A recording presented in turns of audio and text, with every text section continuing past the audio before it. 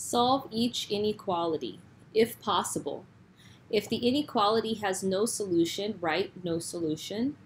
If the solutions are all real numbers, write all real numbers. So here in number one, we have a two-step inequality because I can solve it in two steps. Subtract 7 from both sides first. Our 7's cancel and we're left with 6a is greater than 12.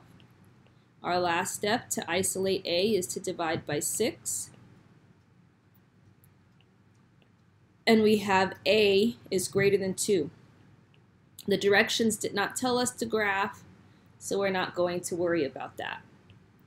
Now in the next problem, number 2, it's multi-step. The first step is to distribute 2t plus 4 minus 3t is greater than or equal to negative 1. Now we want to simplify the left side by combining like terms. Negative t or negative 1t plus 4 is greater than or equal to negative 1. Now subtract 4 from both sides these 4's cancel. And we have negative 1t is greater than or equal to negative 5. To isolate t, we need to divide by that negative 1.